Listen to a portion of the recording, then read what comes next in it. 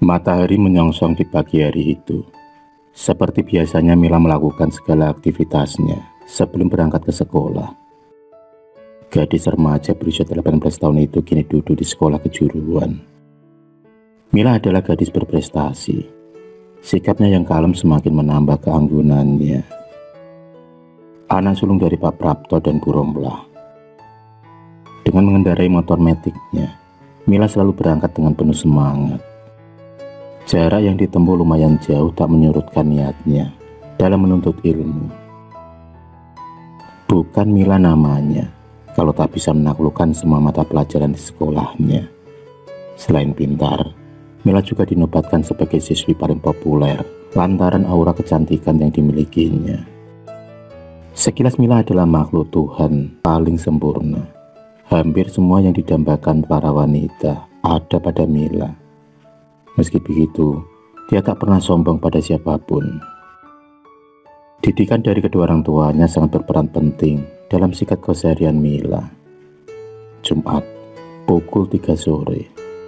Kala itu Mila harus pulang agak terlambat. Kegiatan ekstrakulernya yang diikuti saat ini memang sangat menyita waktunya. Mila terpaksa pulang sendirian. Baru sampai setengah perjalanan, dia pun merasakan ada keanehan. Jalanan yang sepi membuat dia menancapkan gas lebih kencang. Tapi sialnya, sepeda motor kesayangannya mendadak mati. Dengan terpaksa dia harus menuntun metiknya sampai sejauh 5 km. Naas begitu sialnya, nasib Mila sore itu. Tak ada satu orang pun yang melintas. Awan jingga mulai menyelimuti. Burung-burung berlarian menuju ke sarangnya.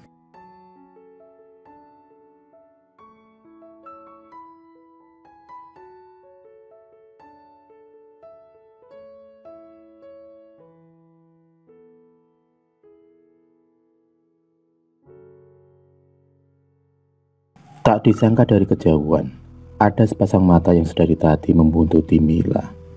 Rambutnya yang kriwil dengan kulit hitam. Laki-laki berusia 35 tahun itu secara mengendap-endap mendekati Mila yang tengah duduk karena kecapean.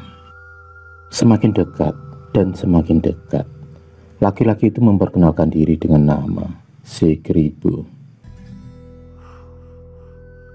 Lalu laki-laki itu memperkenalkan diri dengan nama si Kribu, julukan yang sering disematkan penduduk desa untuknya.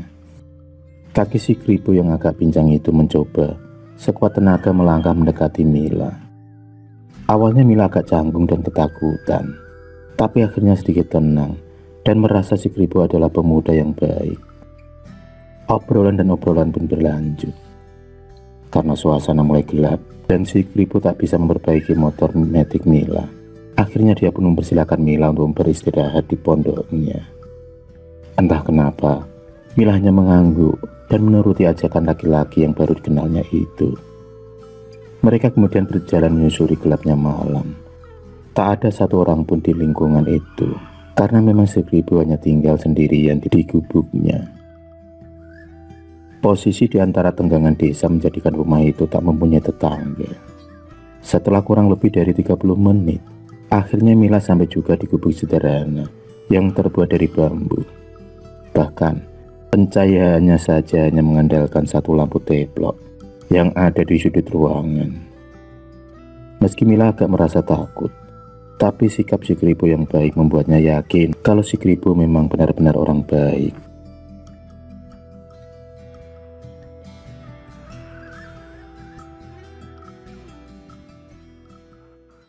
Setelah menyantap sepiring singkong rebus suguhan dari tuan rumah, si pun mendadak berlaga aneh. Sikap yang sopan kini berubah menjadi beringas. Dia memaksa Mila untuk tidur di kursi reot dan memasang tali di ujung kaki dan tangannya. Mulut Mila disumpal dengan kain yang membuatnya tak bisa berputik. Mila tak bisa berbuat apa-apa. Jangankan minta tolong, bernafas saja pun dia kesulitan. Buliran bening di matanya tak berhenti menetes. Laki-laki berambut keriting itu dengan kasar melucuti seragam sekolahnya satu persatu. Tribu menikmati tubuh Mila secara berembabi buta Dan yang paling menggelikan dan mengerikan, Keribu mengambil beberapa belatung lalu ditaruh. Di situlah Keribu menemukan sebuah kepuasan. Entah dari mana belatung-belatung itu berasal, tapi yang pasti perbuatan Keribu sangat menjijikkan dan begitu menyimbang. Di sisi lain, kedua orang tua Mila merasa kebingungan karena sudah hampir jam 9 malam. Mila belum juga menampakkan hidungnya. Setelah sepakat akhirnya Pak Prapto meminta izin kepada Pak RT dan sejumlah warga untuk membantu mencari Mila. Baru saja Pak Prapto keluar pintu, tiba-tiba sosok Mila dengan wajah pucatnya berdiri di depan pintu. Tambah, dengan jelas ada rasa kesedihan yang begitu mendalam. Burumlah yang merasa senang akan kepulangan Mila, ingin segera memeluk tubuh anaknya. Tapi dengan cepat, Mila menghindar Tatapan Mila yang tampak dingin dan kosong. Tak ada satu kata pun yang keluar dari mulutnya. Aneh memang, baru kali ini Mila bersikap tak wajar. Ditambah lagi bau anyir darah, dan bunga melati tiba-tiba menyeruak di hidung Pak Prapto dan Bu Rumlah.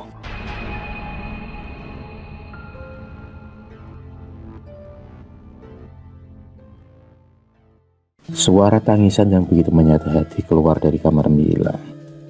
Gadis belia itu begitu menyimpan beribu pertanyaan dalam benak orang tuanya. Lain halnya dengan Bu Wanti yang merasa aneh melihat kelakuan Pak Prapto dan Bu Romlah. Bu Wanti meyakini bahwa Bu Romlah sering berbicara sendiri, padahal dengan jelas Mila belum pulang dari tiga hari yang lalu. Malam itu sengaja Bu Wanti mengintip dari balik jendela kamar Mila. Sebagai tetangga paling dekat, Bu Wanti merasa prihatin melihat tingkah laku Bu Rompla yang sering mengatakan kalau Mila sudah pulang.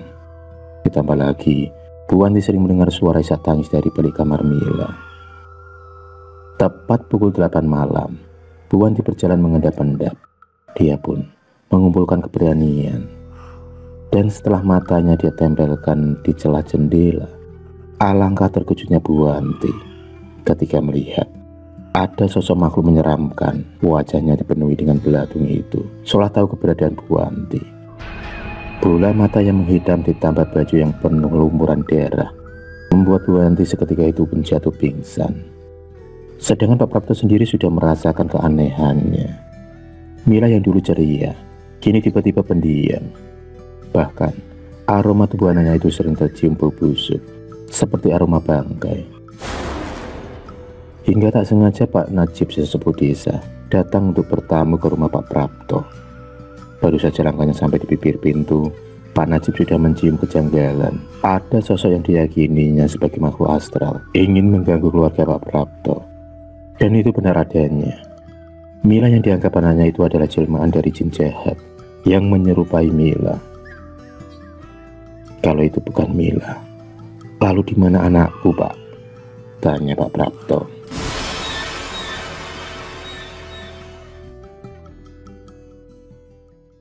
Sambil menarik nafas panjang, Pak Najib berusaha berzikir dan setelah itu Pak Najib tersentak kaget. Beliau kemudian beristighfar berkali-kali dan detik itu juga mengajak Pak Prapto dan beberapa orang menuju ke arah hutan. Jalan pemisah antara desa itu memang terkenal sepi. Pak Najib memang bukan supernatural, tapi beliau dianugerahi dengan ilmu kebatinannya. Dengan berbondong-bondong, Pak Prapto dan beberapa orang desa mendobrak paksa gubuk kayu milik Sikiri ibu. Dan alangkah terkejutnya ketika Pak Prapto melihat keadaan putrinya yang tanpa busana diperlakukan tak senonoh oleh Sikiri ibu. Dan yang paling parahnya lagi, Mila sudah tak bernyawa. Tubuhnya sudah mulai membusuk. Melihat keadaan itu, para warga yang sudah tersulut emosi pun menyeret Sikiri ibu.